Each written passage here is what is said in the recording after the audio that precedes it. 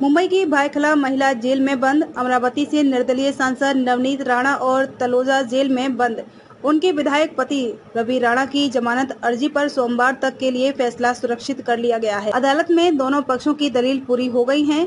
आज court number चौवन में एक गर्मा गर्म बहस हुई और इस दौरान बचाव पक्ष ने कहा कि राणा दंपति के केस में मसाला जोड़ने के लिए राजद्रोह की धारा लगाई गई है। वहीं सरकार पक्ष ने इसे जानबूझकर सरकार गिराने की साजिश करार हुए। वहीं सरकारी पक्ष ने इसे जानबूझकर सरकार गिराने की साजिश करार हुए जमानत का विरोध किया है। सरकार की ओर से प्रदीप घरत और राणा की तरफ़ से आबाद कोंडा और रिजवान मर्चेंट ने पक्ष रखा है। इससे पहले 29 अप्रैल को हुई सुनवाई में मुंबई पुलिस ने राजद्रोह लगाने को लेकर अपना लिखित जवाब अदालत के सामने दाखिल किया है। अपने जवाब में पुलिस ने राजद्रोह की धारा को उचित बताया और कहा कि उसका बेजा इस्तेमाल नहीं किया गया है। अपने रिप्लाई में खार पुलिस ने दोनों आरोप दर्ज छह केस का हवाला देते हुए जमानत का विरोध किया है।